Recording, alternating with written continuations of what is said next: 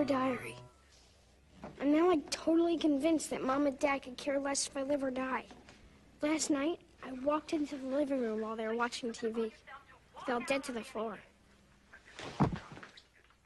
No response from them. I think the television reruns have replaced their natural spontaneity. I mean, unless I'm on the 11 o'clock news, I really don't think they'd care.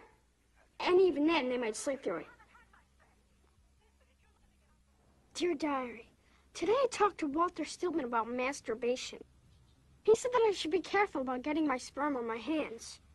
We looked at his sperm under a microscope and we saw a lot of crazy activity. Personally, I don't think it will make us deaf. Anyway, I hope not. It would be the worst thing in the world if I couldn't listen to Diana Ross. She's my absolute fave. I can't cover up my feelings in the name of love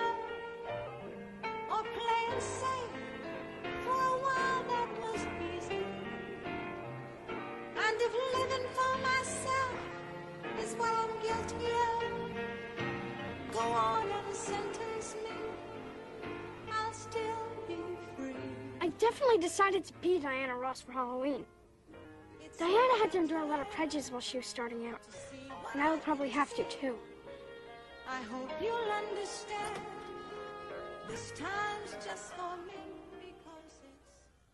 Dear Diary, I've become best friends with Pinky Faraday. You'd think that a guy named Pinky would be, well, you know, but he's not. He's the star of the intermediate baseball team in town and everything. Being friends with him means so much to me. It's the next best thing to being popular myself. I think that if someone came to town with a machine gun or something and threatened to kill Pinky, I'd offer myself instead. He definitely deserves to live. Dear Diary, everybody cool is making out at the Quality Courts Motel. Kathy Quinn invited me. She said it wouldn't mean anything. It would be a controlled experiment. Stop that. But to tell you the truth, I had no trouble controlling myself. It's not that she's not attractive. It's just that I've had other things on my mind.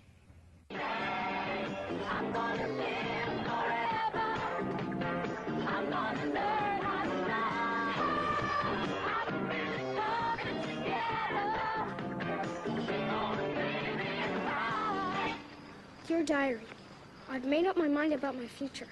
And tonight, I explained it all to Pinky. I told him, Pinky, I've decided that the theater is to be my life. Cool. Pinky is so understanding.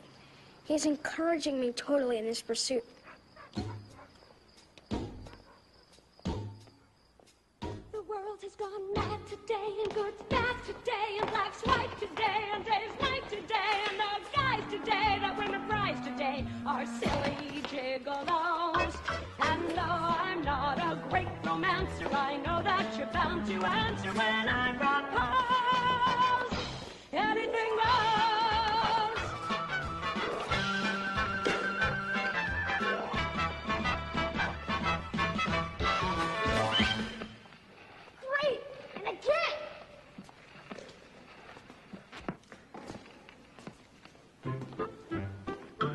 Dear Diary, last night I was totally and truly happy.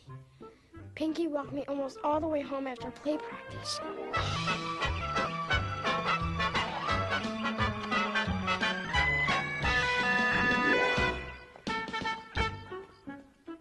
I told stupid Walter Stillman how I felt about Pinky. He said that I should be careful because he heard stories about how boys do it with boys. And that's totally gross. You could end up a pervert. Or worse.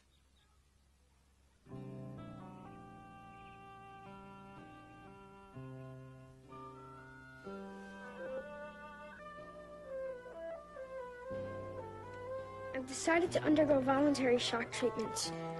Hopefully, this will cure me of having dirty dreams about naked men. And Pinky.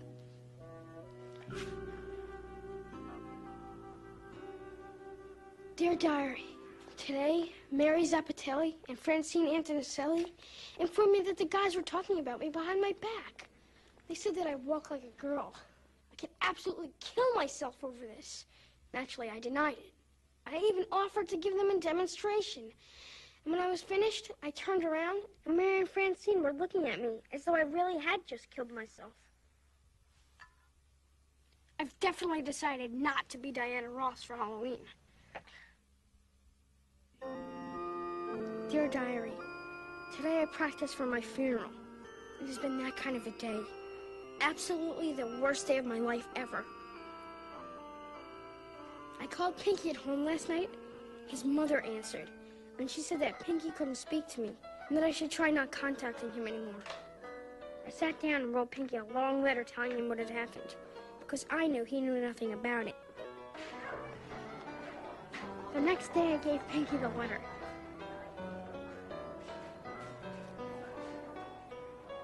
At lunch, he gave me one back. It said that I was a fairy, a weak person, and maybe didn't even deserve to live. Okay, I- I'm not sure, but I think this means that me and Pinky, we're not best friends anymore.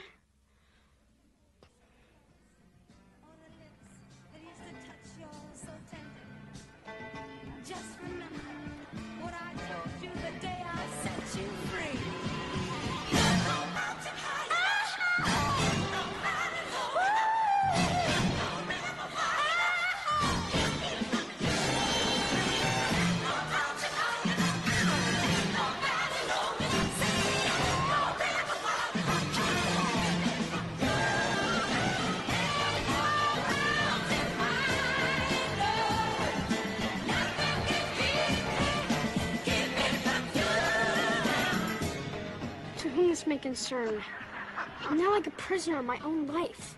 Mom found my diary and read it. Dad, too. I am now a person with no future, a past too horrible to think about. Pray for me. Bye-bye. Father Joe came by our house today and took me for a ride to the Dairy Cream. I should have been suspicious. I mean, to begin with, we're not that religious.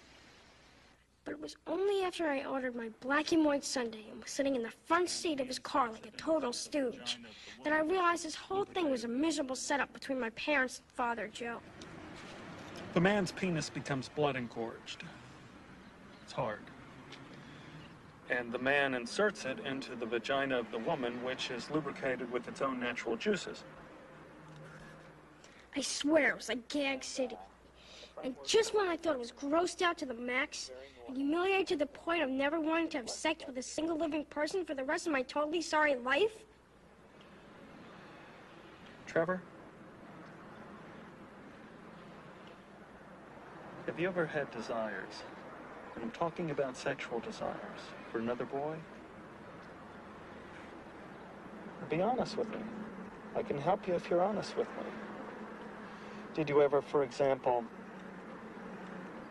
want to touch another boy? Like, I'm not trying to suggest anything here, but like Pinky Faraday?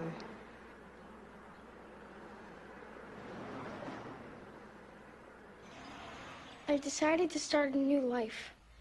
I'm going to change. First, I will dye my hair and eyelashes.